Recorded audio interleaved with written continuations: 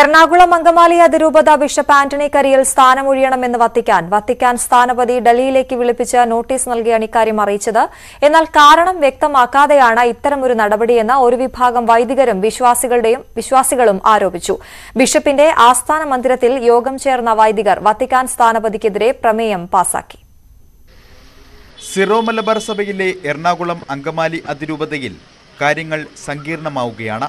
നിലവിലെ ബിഷപ്പ് ആന്റണി കരിയിലിനോട് അതിരൂപതയുടെ മെത്രോപൊലിത്തൻ വികാരി സ്ഥാനം ഒഴിയണമെന്ന് വത്തിക്കാൻ ആവശ്യപ്പെട്ടു. എന്തിനാണ് സ്ഥാനമൊഴിയാൻ നിർദ്ദേശിച്ചത് എന്ന കാര്യത്തിൽ ഔദ്യോഗിക വിശദീകരണം നൽകിയിട്ടില്ല. സഭയിലെ വിവാദ വിഷയങ്ങളായ ഭൂമി ഇടപാടും കുർബാന ഏകീകരണവും സംബന്ധിച്ച് എടുത്ത തീരുമാനങ്ങളാണ് നടപടിക്ക് കാരണമെന്നാണ് സൂചന. ഈ രണ്ട് കാര്യങ്ങളിലും ഔദ്യോഗിക നിലപാടിനെ എതിർത്ത വിമതപക്ഷത്തിനൊപ്പമാണ് ആന്റണി കരിയൽ നിലകൊണ്ടത്. കുർബാന ഏകീകരണം നടപ്പാക്കണമെന്ന് വത്തിക്കാൻ അന്ത്യശാസനം നൽകിയെങ്കിലും അതും നടപ്പായില്ല. വത്തിക്കാൻ നടപടി പിൻവലിക്കണമെന്നാവശ്യപ്പെട്ട് ഒരു വിഭാഗം വൈദികർ വത്തിക്കാനിലേക്ക് കത്തയച്ചിട്ടുണ്ട്.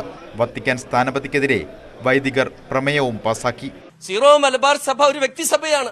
ആ വ്യക്തിസഭയാണെങ്കിൽ ഇവിടുത്തെ ഒരു മെത്രാന്റെ നിയമനവും ഒരു മെത്രാന്റെ രാജിയുമെല്ലാം ഇവിടുത്തെ സിനഡാണ് തീരുമാനിക്കുന്നത്. വത്തിക്കാനല്ല അപ്പോൾ എന്തുകൊണ്ടാണ് ഇതിപ്പോൾ വത്തിക്കാനിൽ നിന്നും വരുന്നതെന്നുള്ള ചോദ്യം വളരെ പ്രസക്തമാണ് ചരിത്ര പ്രസക്തമാണ്. നാളെ രാവിലെ കൊച്ചിയിലെത്തുന്ന വത്തിക്കാൻ സ്ഥാനപതിയും അപ്പോസ്തലറ്റിക് ഷോയുമായ ലിയോദോ പോൾ ജിറേലി ആന്റണി കരിയിലുമായി നേരിട്ട് കൂടിക്കാഴ്ച നടത്തും. രാജ്യസംബന്ധമായ കാര്യങ്ങളിൽ നാളെ അന്തിമ തീർപ്പുണ്ടാകും. News eighteen Kochi.